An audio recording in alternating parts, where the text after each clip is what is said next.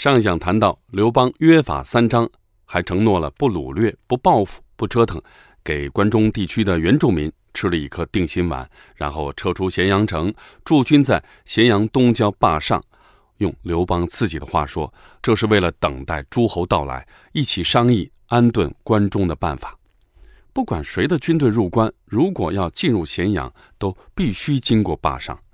推测当时刘邦的心思。大概是相信以自己的这份盖世奇功，应当稳稳当当的能在关中称王了，从此坐享昔日秦国的土地人口，痛饮狂歌空度日。国号可能要改一个，毕竟天下人都恨秦国，自己呢又是反秦英雄，总不好改成秦王。至于诸侯会不会服气，会不会跟自己抢地盘，以至于刀兵相见，夺走自己辛辛苦苦打下来的胜利果实？刘邦应该并不担心，否则的话，他就会兵分两路扼守函谷关和武关，而不仅仅是驻军霸上了。霸上几乎无险可守，刘邦所担心的，应当只是有来路不明的反秦武装趁乱杀进咸阳，抢了自己的金银财宝和富人狗马罢了。而这时候的刘邦，应当并不知道，当。章邯和项羽在殷墟结盟的时候，项羽许给章邯的是雍王头衔，而雍城正是秦国旧都，所以立章邯为雍王，相当于给了章邯一个承诺：将来只要打下关中，推翻秦政府，就让章邯在关中称王。之所以不称秦王而称雍王，大概率上只是要尽可能肃清秦国的痕迹而已。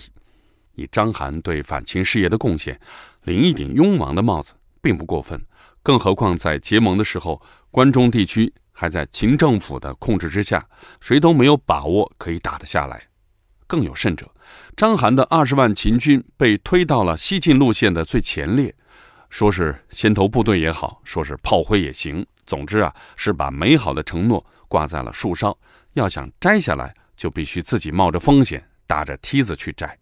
而如果章邯这支倒戈的秦军以先头部队的姿态当真杀进了函谷关，还抢在刘邦之前的话，那么章邯头上的这顶雍王帽子才算基本可以戴稳。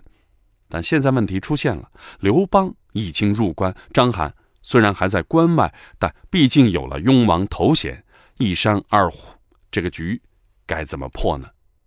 如果那二十万秦军真的和刘邦对垒，真刀真枪抢地盘，刘邦的胜算恐怕很低，但刘邦啊，已经不必有这种担忧了，因为在诸侯联军里边，局面发生了巨变。《资治通鉴》记载，当项羽平定了河北地区之后，统帅诸侯联军准备西进关中，但队伍很快就出现了内部矛盾，只是呢还没有爆发。事情的起因是倒戈的秦军和诸侯联军在联合作战的行动当中，不可避免地出现了交集，而有了交集，就有了摩擦。问题不难理解，因为双方不但是世仇，而且就在前不久都还是你死我活、拼力厮杀的对手。联军这边多少人曾经被秦政府征发徭役、卫戍边疆，凡是途经关中的，都没少受到秦人官兵的羞辱。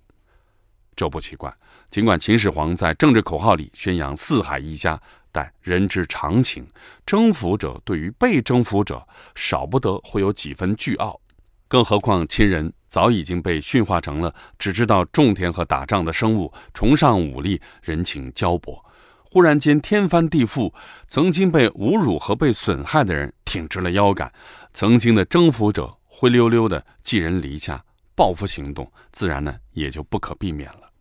章邯和项羽结盟，虽然严格来说并不等于投降，而是章邯带领秦军倒戈，变成反秦联盟当中的一员。甚至从头衔上看，章邯还要高出项羽一级，和山东六国的各位国王平级。但实际上，章邯拱手交出了指挥权，秦军也只是反秦联军的加入者，而不是引领者。秦军将士大概很难区别这种结盟和投降之间的微妙区别吧。现在秦军将士沦为了被侮辱和被损害的人，被联军将士当成俘虏对待，情绪自然呢按耐不住。大家私下商议，那些当官的骗我们投降。现在我们西进关中，如果能够顺利推翻秦政府，那当然最好；而如果打不进去的话，我们在关外当俘虏，秦政府在关内杀光我们的父母妻儿，那就惨了。以秦军将士议论的内容来看，他们对大秦帝国显然缺乏忠诚度，一点都没有忠孝不能两全的那种节操。这恰恰见出自商鞅变法以来秦国的一项重大缺失。秦国全面抹杀文化教育，简单明快的拿人头换提成，这种政策在扩张时期确实见效快、收效大，而在艰难险阻面前，一旦缺乏了价值观层面的支撑力，再大的帝国也会说垮就垮。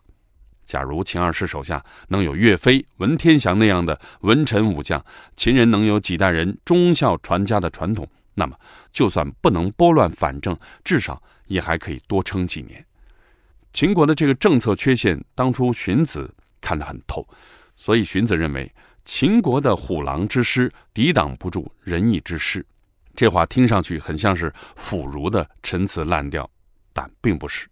前面讲过。荀子有一篇《义兵》，核心观点是：只有道义才能最大限度地解放战斗力。赏罚的效用虽然立竿见影，但假如大敌当前，仅仅通过赏罚机制让国民去守卫一座孤城，国民呢必然叛变。可见，赏罚之类的办法只适用于雇佣关系，让受雇的人多卖力气而已，却不足以使他们在任何情况下都可以义无反顾去拼命作战，更不足以吸引敌国的军队和百姓来投奔自己。我们先前领略战国时代的历史风貌，看着秦国一连串的开疆拓土、负军杀将，就很容易忽视荀子的这些见解。而当此时此刻看到处于下风的、在危机和压力之下的秦军表现，就该对荀子的话重新掂量一下了，也就更容易明白为什么秦朝以后的那些帝国会特别重视全民价值观的塑造。秦军议论纷纷，眼见得军心不稳，没有不透风的篱笆，很快啊，消息就传到了项羽那里。项羽呢，高度重视，召见秦部和蒲将军商议对策。结论是，秦军人数太多，怨气又重。等真的到了关中，一旦他们不听指挥，局面可就不好收拾了。不如把他们杀光，只带着章邯、司马欣和董翳这三位将军入秦。计已定，楚军趁着夜色，在新安城南将秦军二十多万人尽数坑杀。重申一下。坑杀未必等于活埋，大规模的坑杀基本上是集中屠杀，在集中掩埋。但无论如何，一夜之间，即便是杀尽手无寸铁的二十万人，也不是一件容易事。原本诸侯联军和倒戈的这支秦军，在兵力上大体相当，都在二十万人左右。后来联军的兵力应该得到了相当程度的扩充，像夏丘申阳那样的将领加入进来，应该不是孤立。所以，《汉书》有交代说，联军行至新安的时候，已经是三十多万人的规模了。《史记》在不同篇章里都有提到新安杀降这件事，尤其是刘邦和项羽反目的时候，刘邦隶属项羽的十大罪状，其中第六条就是使用欺骗手段坑杀二十万秦人子弟，又把三名秦军将领封王。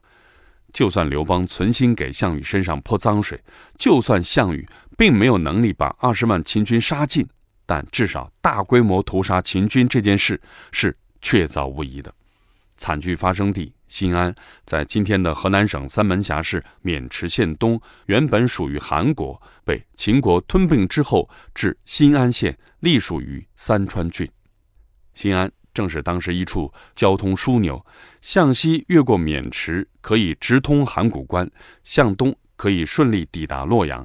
后来汉武帝改制函谷关，将函谷关迁到了新安，还将旧函谷关以外、新函谷关以内的区域设置为弘农郡。所以，汉武帝以后的关中和关东概念就和战国秦朝不一样了。这是我们读历史很需要留心的地方。新安其地，其实大家都不陌生。杜甫著名的《三吏三别》当中，“新安吏劈头第一句“客行新安道”说的正是这里。沿新安道西行，就会走到石壕里描写的那座石壕村，在今天河南省三门峡市陕州区，一度改名为干壕村，现在呢又改回石壕村了。继续沿新安道西行，就是潼关里描写的士卒和草草筑成潼关道了。项羽的行军路线和唐军安阳和大败之后，杜甫匆匆离开洛阳返回华州的路线基本一致。由项羽主导的、由秦部和蒲将军具体实施的新安大屠杀，从此成为项羽身上抹不掉的一大污点。不妨借用杜甫《新安吏》的诗句：“白水暮东流，青山犹哭声。”我们不妨试想一下，如果站在项羽的角度，事情还可以有更好的解决办法吗？项羽能不能像刘邦一样，和这二十万秦军约法三章？赢得他们的真心拥戴呢？就算不行的话，又能不能退而求其次，至少约束一下诸侯联军，不要把秦军将士当成俘虏来羞辱呢？道理虽然好讲，但项羽自有他的难处。历朝历代如何处置降军，永远都是棘手问题。不杀降当然最好。但必须有一个前提，那就是双方实力悬殊，受降的一方完全不担心投降的一方抱起发难。另一个很现实的问题是，人吃马喂，每天呢都有不小的开销。章邯倒戈之后，秦政府自然不会再负责章邯军团的军粮供应。陡然间，二十万大军变成了二十万张嘴，有的是让项羽头疼的。而如果项羽约束军纪，不许诸侯联军欺负秦人的话，又会打压联军士气，造成另一种的军心不稳。如此具体的情境之下，也只能两害相权取其轻了。新安大屠杀发生在汉高帝元年十一月，正是刘邦在关中约法三章的同时。项羽杀人减负，刘邦和章邯坐等封王，矛盾已经一触即发了。我们下一讲。再谈。